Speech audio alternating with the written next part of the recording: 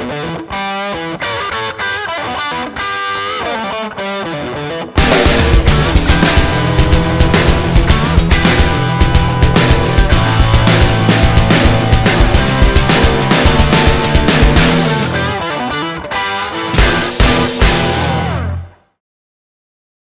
hello everybody, I'm Stella Stig. Welcome to Chop Shop Customs. This is episode one of a brand new series we will be starting on my channel. Hopefully, you will all enjoy it. Get yourself comfortable, grab some cookies, some popcorn. Because what we're going to be doing today is we are going to be going out into the wilderness of Australia. We're going to look for some unloved, beaten up, rusted, dented cars that we're going to be purchasing. We're going to be bringing them back to the shop. We're going to be giving them a little bit more power, shit ton more power. A new lick of paint, make them look all pretty, and then hopefully what we're going to do is we're going to sell them into the auction house for a bit of a profit. Um, that is, is, is the basis, premises behind this series. Um, we will go through each stage, we'll be selecting the car, uh, we'll be adding upgrades, we'll be painting it, taking it out for a test drive. The vehicle you can see in front of you right now is our Chop Shop truck. Uh, we have a logo on the truck, which I will just rotate down now so you can see it. It is that one right there. That was done by TR The Flash. Uh, and what we're going to try and do with the Chop Shop truck is, this is open to you guys as well, so you can all create logos and I will stick them onto my truck. As you can see, we've got quite a bit of real estate space available. Uh, as long as they're suitable for work and clean, um, just upload them onto the game, uh, put in the description Stella Stig Chop Shop, um, and I will download them and stick them on the truck. Simple as that. And then over the course of the series, we'll be have an awesome truck with loads of logos that you guys have created, and we can cruise around looking fucking awesome. Okay, so we've already got the drone up in the air and mobile. We're going to scope out the one car that we have identified already. We looked through the internet, had a browse around. We've only got 100k to spend to start off with until we start making some more money. Um, so this car was on the market for 25,000 credits, which I thought was a nice easy start because we're going to need some credits to actually add parts into it. And this is the car that we're going to look like we're going to be buying. And oh my, it looks like they like stickers. Stickers and green wheels. It's an interesting combination. It looks like the bodywork is absolutely shot. But for 25,000 credits, it's within our budget. I'm pretty sure we can do something with that. Okay, alright, let's get the drone out of here. We've got his phone number. Uh, the guy is called Peter. Uh, so we'll give him a call and see what he's got to say. Hello, is that uh, Peter? No. I'm sick and tired of you people always calling during dinner. Oh, I'm sorry about that. I didn't realise you were having lunch. I was phoning about the car you've got for sale. Uh, yeah, that's me. Oh, so you are Peter? Yeah, hi, this is Peter Griffin. Ah, right. Okay, cool. Right, so we, we, we know where we are. I'm just phoning about the, uh, the, the Nissan you have for sale that uh, you've got advertised. I'm interested in uh, in buying it off you.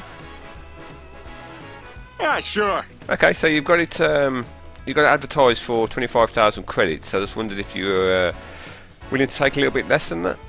You are one sick bastard, you know that? Oh, where do you come up with this stuff? Oh, God, I am never going to get that out of my head. I, I, yeah, well, it, it, it's usually the way that people advertise stuff, and you can usually barter a little bit. And I just wondered if the, the the, the price of the car was open for negotiation. Sir, yes, sir. Oh, that's great, cool. Um, so I, I, was thinking maybe about. Uh, I'm going to start off a little bit low, about about fifteen thousand credits. How does that sound to you? Oh, I, I don't know if I can do that. Okay, before before we get into buy, so if you tell me a little bit about the car. Um, how many owners has it had before? Three. Just three. Okay, okay. Did you do? Um, so it's in the bodywork's in quite a, quite a bad condition. Uh, and it's got quite a lot of logos and, and vinyls on there. Was was that something you added to it? Sir, no, sir.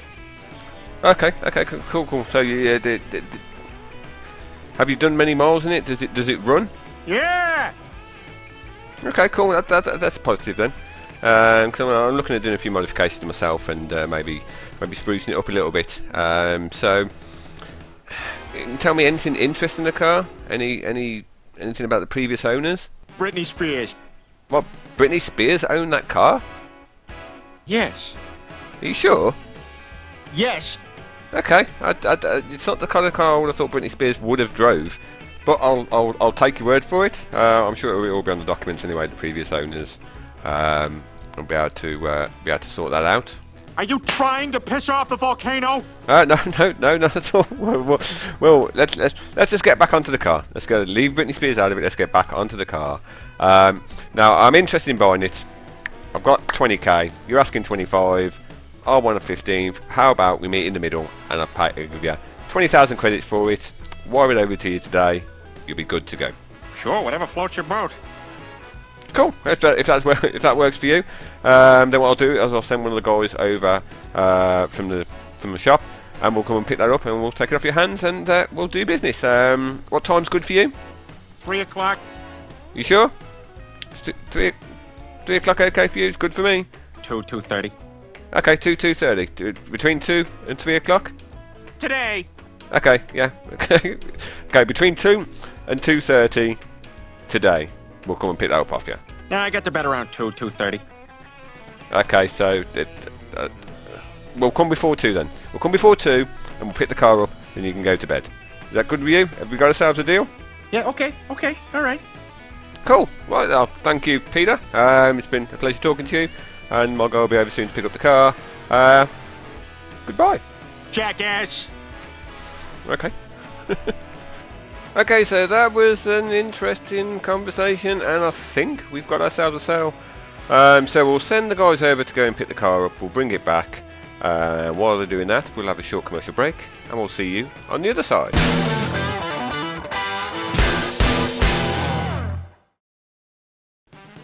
Welcome back to part two of the show, and I've heard from Jeff. He's literally pulling up to the shop now.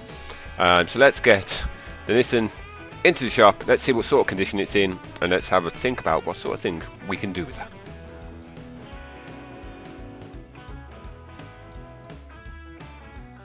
Okay, so we've got it in the garage. Um, the paintwork actually looks a lot worse than I first suspected. The logos are definitely going to go, as well are the green wheels. Why, why, why, why would you have green wheels? Um, the overall, the bodywork looks pretty straight though, so that's that's going to be a bonus. Um, but yeah, I have no idea how long this car's been outside in the sun and all the paint's been coming off by the looks of it. Um, so thoughts on this car? Now, I think what we're going to do with this car, we're going to we're, we're going to try and spend quite a lot on it to soup it up and just make it a lot more desirable. It is the first car that we're going to launch, so we want people to actually notice us and to actually grab a bit of attention. So we're going to go full out with this car. Um, got a few ideas what we're going to do. So without further ado, let's hand her over to the body shop boys. Let's see what they do with her, and let's see how she comes out.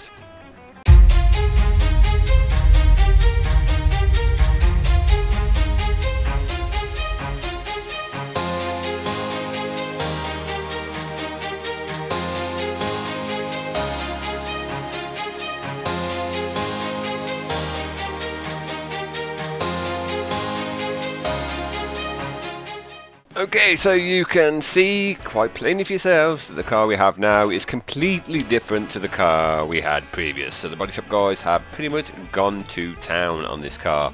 Uh, they've got rid of all the bodywork issues, all them logos, got rid of them damn green wheels. Uh, they've got the car ready for the paint, which we will be coming to very shortly. Um, but as you can see, they have gone with a full Rocket Bunny kit. Uh, some nice black rims uh, with some logo tyres. Nice tyre writing. We've got the Chop Shop plate on there still. Um, so overall, I think you'll agree that this car now looks one million times better than it did before. Uh, so we're going to go over now the parts that we have applied to this car. And as you can see, we have pretty much spent the whole of our budget. Uh, we've got a 6.2 litre V8 engine in there, the Rocket Bunny wide uh, wide body kit. Uh, we've gone with 18 inch rims front and rear, race brakes, race springs. Got rid of a whole host of weight reduction from in there. This car is now a beast. A beast, I tell you. So now that we have the bodywork all sorted, we have it looking pretty, there's just one thing left to do to make it look even better. And that's of course, apply our custom one-off paint. Uh, this paint is unique to this car and I will not create another paint like it. Um, so let's hand it over to the paint booth. I know what they're going to do. I won't spoil the surprise. It's going to look cool.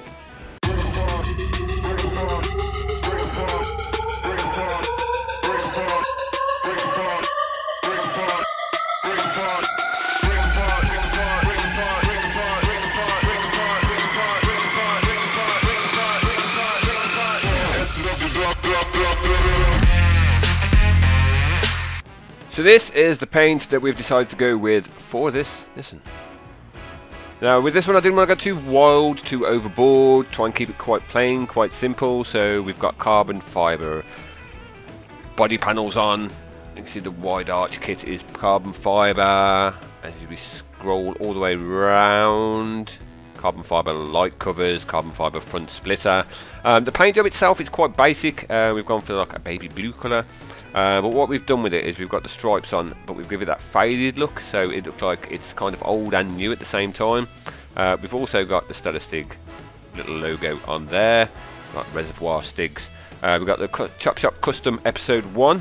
Uh, so when this goes in the auction house and you buy it, you will be the only person with this paint in this car, and this will be the car from this series.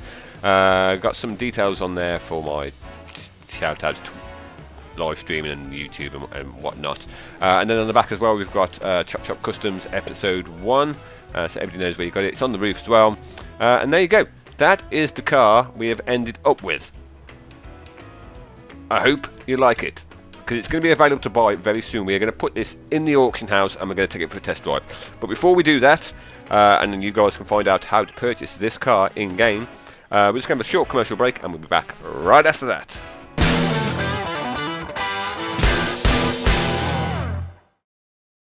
Welcome back to the show, and as you can see, we are sat inside our 240SX. Uh, you can see the interior is not too changed from the original because basically we didn't have enough money left to do anything on the interior other than give it a clean. Um, so all that's left to do now in part 3 of the show is take her out for a spin, show you how she handles, and then stick her in the auction house so you guys can buy her. Uh, we'll go over how much we're going to sell it for because we need to try and make some profit to keep this show going. We've only got 100,000 credits. We've pretty much spent most of that already. So we need to try and make some money back in the auction house. Um, and hopefully one of you lucky guys will be able to purchase this. So let's take it out on the road and take it for a spin.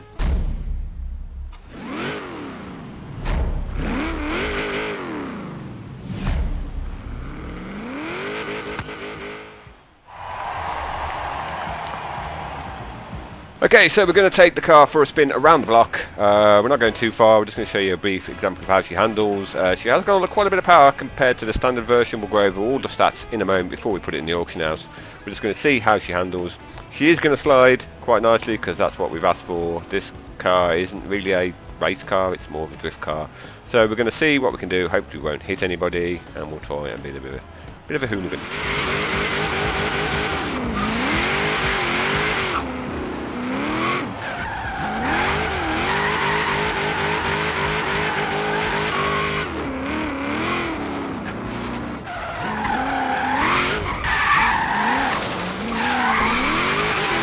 Unfortunately, my drifting skills are not up to that of the car. And there's a tram coming. We will not win a fight against a tram. I'm sure people with better drifting skills than me will be able to do a lot better than I am. Although we did thread the needle through those cars quite nicely.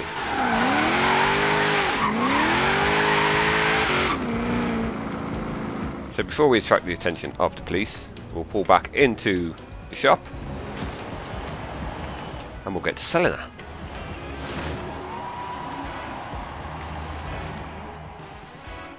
Okay, so we're getting ready to put it in the auction house. Now, for the purpose of this, because there is a credit limit on the most you can uh, do a buyout price, and this car has cost in total just short of 99,000 credits.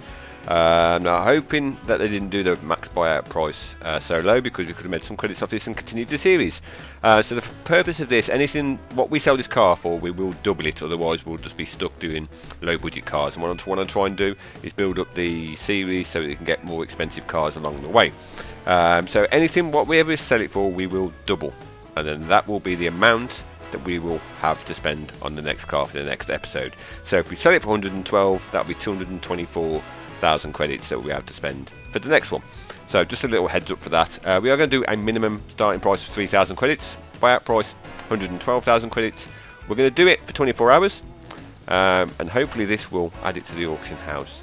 Now you'll be able to search it um, and have a look at all the stats on it and uh, check out how much power it's got. It's got quite a bit. It's got about nearly 800 brake horsepower, I think, overall. Um, so it's not short of a bit of speed. Hopefully the auction house will play. And there you go, your 1993 Nissan 240 SX SE was successfully listed in the auction house. Watch the progress of this sale in my auctions. Um, so there you go, guys. That car is now available for you to buy. And we'll wave goodbye to her. So that brings us to the end of Chop Shop Customs episode 1. I hope you've all enjoyed it. There is now a car that we've bought, made a hell of a lot better, put it on the market. Hopefully she'll sell for quite a few credits. If you do buy her, uh, then just let me know at on Twitter at, at Statistic. Send me some screenshots um, and have some fun and just let me know how you got on. Um, also, guys, if you enjoyed the video, don't feel scared to press that like button. Just let me know if we should continue this series, if you found it enjoyable. Any comments, stick them in the comment section below. And hopefully, we will see you all in episode 2 of Chop Shop Customs. Ciao for now.